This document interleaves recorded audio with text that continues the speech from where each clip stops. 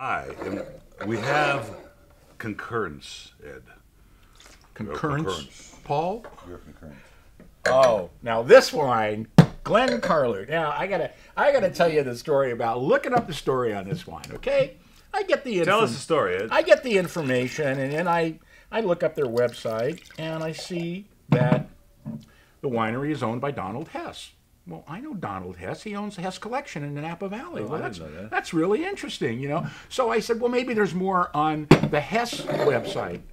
Absolutely nothing. Hmm. Nothing. Not a thing. So I call the salesperson. I said, hey, what's going on here? How come Hess doesn't have anything on the Hess site, but his picture is prominently displayed on Glen Carlou's site? And she said, he sold Glen Carlou, took it off of his site, and they haven't taken it off yet. Oh, that's funny. I said, I said, because I'm going, now this, Who'd you talk to? uh, Peter? Beth. Oh, Beth.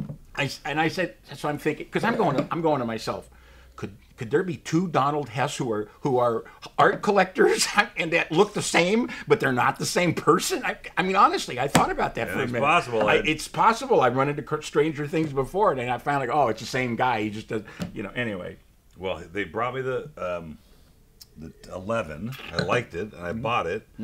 And they went to go send it to us, and they didn't have it. So Well, they sent me the someone's twelve. paying attention. And this was this was even nicer. This, great. This is a great. You know what I like about it? It, it's it's it reeks of South Africa. You get a little bit of that. I know, creosote, I but it's not a, so. it's not extraordinary. I mean, But it's it's got a it's a full on Bordeaux blend. It's all five grapes. yeah. I think it's got depth. I think, I think it's got character. great depth and character. It's got it- it's got beautiful balance. It's got soft tannins that kind of creep up on you toward the end. You know, nice It wine. knows it's South African. Come on. You know, I don't know that I'd guess South African right off the bat.